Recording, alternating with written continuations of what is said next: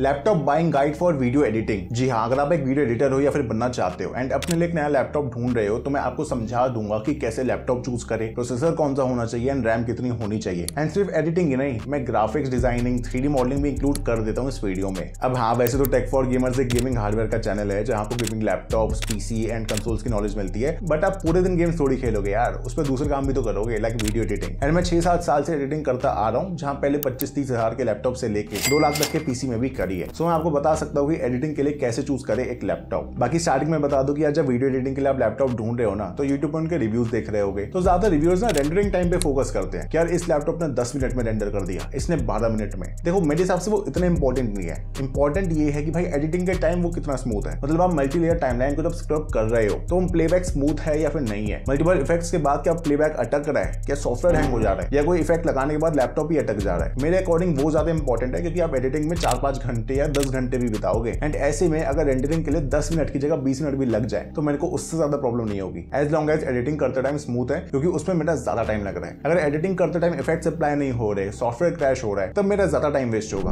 अच्छा let's address the elephant in the room क्योंकि बहुत लोगों को डाउट होगा कि यार मैकबुक कैसा है। सो so, सिंपली अगर आप अफोर्ड कर सकते हो ना तो मैकबुक से बढ़िया मशीन ही नहीं है एडिटिंग के लिए। आई वुड हाईली रिकमेंड कि वो ले लो बस हाँ गेमिंग नहीं कर पाओगे। और साथ ही आपके वर्क पर भी डिपेंड करता है क्योंकि बैटरी लाइफ बहुत अच्छी मिलेगी एप्पल का जो खुद का सिलिकन है मतलब कि M one and M two वो बेस्ट प्रोसेसर में आता है। अगर टेन एडिट करनी है विद मल्टीपल लेयर्स तो एम टू मैकबुक एयर से काम चल जाएगा। टाइमलाइन बिल्कुल स्मूथ स्क्रब हो पाएगी। एंड इवन ग्राफिक डिज़ाइन भी कर लोगे इजिली क्योंकि फोटोशॉप भी चल जाएगा बहुत आराम से। एंड अगर आपको फोर के एडिट्स करनी है, या आफ्टर इफेक्ट्स चलाना है, या इवन थ्री डी मॉडलिंग करनी है तो M two MacBook Pro best है, जो कि रिसेंटली लॉन्च हुई है। उसमें आप अपने बजट के हिसाब से एंड अपनी ज़रूरत के हिसाब से प्रोसेसर या फिर रैम सेलेक्ट कर सकते हो। तो ठीक है मैकबुक्स की बात हो गई एंड अब आते हैं विंडोज़ लैपटॉप पे, जिनका डिस्कशन थोड़ा सा लंबा चलेगा बिकॉज़ उसमें ऑप्शंस बहुत अवेलेबल है। सबसे पहले बात करते हैं प्रोसेसर की। अब मैं अपना बताऊँ तो मैंने पुराने i3 पर भी सोनी वेगस प्रो में एडिटिंग कर रखी है। बट वो एक्सपीरियंस कुछ खास नहीं था। लैपटॉप बहुत लैग करता था एंड वो जुगाड़ वाला काम था। कहने का मतलब ये कि अगर आपको काम चलाना है ना तो आप लो एंड लैपटॉप से भी काम चला लोगे। पर मैं थोड़े से कंफर्टेबल एडिटिंग को दिमाग में रखते ही लेके चलूँगा एंड उसी के हिसाब से सजेशन दूँगा। अच्छी एडिटिंग के लिए बात जान लो कि जितने ज़्यादा सीपीयू कोर्स होना उतना ज़्यादा अच्छा है। इसलिए मिनिमम फोर कोर का प्रोसेसर तो होना ही चाहिए। इससे नीचे तो जाना ही नहीं है। हाँ ऊपर में सिक्स कोर एट कोर जितना ज़्यादा उतना बढ़िया। टेन एडिट के लिए फोर कोर से काम चल जाएगा बट फोर के में तो आपको सिक्स या फिर एट कोर्स चाहिए। अदरवाइज़ आप प्रॉक्सीज बना के भी कर सकते हो। एज एन एडिटर आपको पता ही होगा कि वो क्या होती है। एंड हाँ मिनिमम आई फाइव या फिर आर फाइव होना चाहिए। उसके अलावा आप चेक करना प्रोसेसर की base and boost clock base clock तब काम आती है जब आप नॉर्मल एडिट कर रहे होते हो कट्स वगैरह लगा रहे होते हो एंड उस टाइम आपकी बैटरी बचेगी। बट रेंडरिंग के टाइम या फिर हैवी इफेक्ट्स लगाने के टाइम आपकी बूस्ट क्लॉक पे चल रहा होता है प्रोसेसर फिर बात करते हैं ग्राफिक्स कार्ड की तो वैसे एडिटिंग ना मेनली एक प्रोसेसर इंटेंसिव टास्क होता है। इसलिए अगर डिस्क्रीट जीपीयू ना भी होना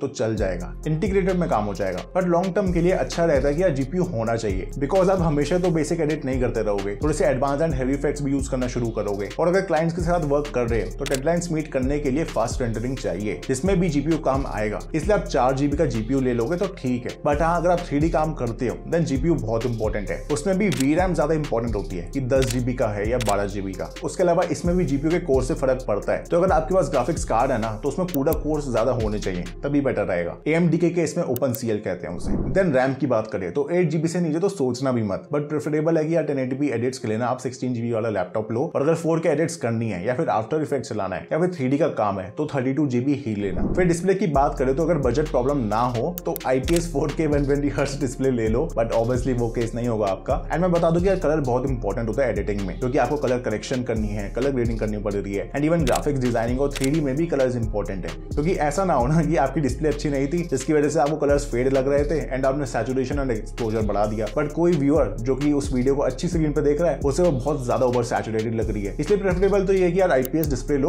उसके कलर बहुत बढ़िया होते हैं एंड टेन की सिक्सटी हर्ट्स की डिस्प्ले दौड़ेगी। बट ज़्यादा रिफ्रेश रेट की ज़रूरत नहीं है आपको एज एन एडिटर बट अगर फोर के एडिट्स करनी है तो वैसे ही डिस्प्ले प्रेफरेबल है। ऑल मेन है कलर कवरेज की मिनिमम नाइनटी परसेंट एस या फिर सेवेंटी टू परसेंट एनटीएससी होना चाहिए। अब करने को तो आप फोर्टी फाइव परसेंट एनटीएससी के टी पैनल में भी कर लो पर वो लॉन्ग टर्म में अच्छा नहीं रहेगा बिकॉज़ कलर्स काफ़ी खराब होते हैं उसके। बट बजट प्रॉब्लम है तो चलो वी पैनल ले लो, फिर भी डिसेंट कलर्स आपको देखने को मिल जाएँगे। बट टीएन तो बिल्कुल भी मत लेना। वरना कुछ लोग ये भी करते हैं कि लैपटॉप तो डिसेंटली डिस्प्ले वाला ले लिया बट फिर एक एक्सटर्नल मॉनिटर से कनेक्ट कर लेंगे उसे। क्योंकि आपको पंद्रह हज़ार की रेंज में बढ़िया मॉनिटर्स मिल जाते हैं एंड वो बड़े भी होते हैं। फिर आईपीएस भी मिल जाएगा तो अच्छा रहता है। अगर मॉनिटर सेलेक्ट करने में प्रॉब्लम हो रही है ना तो मेरी मॉनिटर बाइंग गाइड देख लेना। फिर साइज़ एंड वे डिपेंड करता है कि आप कैसे एडिटर हो। कि आपको बहुत ज़्यादा ट्रैवल करना पड़ता है अपना लैपटॉप लेके एंड रैंडम जगहों पर बैठ के अपनी ट्रैवल वीडियोज़ या फिर क्लाइंट वीडियोस बनाते हो? या फिर आप अपने घर पे बैठ के एक डेस्क पे ही एडिट करते हो हमेशा? तो उसके अकॉर्डिंग आप समझ ही गए होंगे कि यार ट्रैवल के लिए तो लाइट लैपटॉप प्रेफरेबल है। एंड साथ ही अगर उसका साइज़ भी चौदह इंच या पंद्रह इंच रहेगा तो आसानी होगी ले जाने में। वैसे तो जितना ज़्यादा स्क्रीन साइज़ है, उतना बेटर रहता है क्रिएटिव टास्क के लिए। बट फिर आपको ट्रैवल भी तो करना है। लेकिन अगर आप घर पे बैठ के एक कोने में एडिट कर रहे हो तो थोड़ा सा हैवी एंड बड़े लैपटॉप ले सकते हो। लाइक सिक्सटीन इंच के या फिर सेवनटीन इंच के। फिर बैटरी बहुत इंपॉर्टेंट होने वाली है स्पेशली जब आप ट्रैवल कर रहे हो। एंड जो भी बैटरी लाइफ लिखी होती है ना, वो ज़रूरी नहीं है कि सही हो। आपको लैपटॉप के रिव्यूज़ देखने पड़ेंगे। इंडिविजुअली कि कितना चल पा रही है वो रियल लाइफ टेस्ट में। वैसे बजट विंडोज़ लैपटॉप में ना बैटरी कुछ खास मिलती नहीं है, इसलिए लोग मैकबुक एयर प्रेफर करते हैं। फिर स्टोरेज में भी सिंपल बोल रहा हूँ कि एसएसडी ले लेना, क्योंकि आपको फाइल्स इंपोर्ट करनी होंगी या फिर कॉपी पेस्ट करनी होंगी, जिसमें रीड राइट स्पीड बहुत इंपॉर्टेंट होती है, इसलिए एस ही लेना। अगर वन टीबी नहीं तो five hundred twelve GB S ले लेना। उसके अलावा पोर्ट्स की बात भी कर लेते हो यार यूएसबी थ्री से ऊपर तो होना ही चाहिए बट थंडर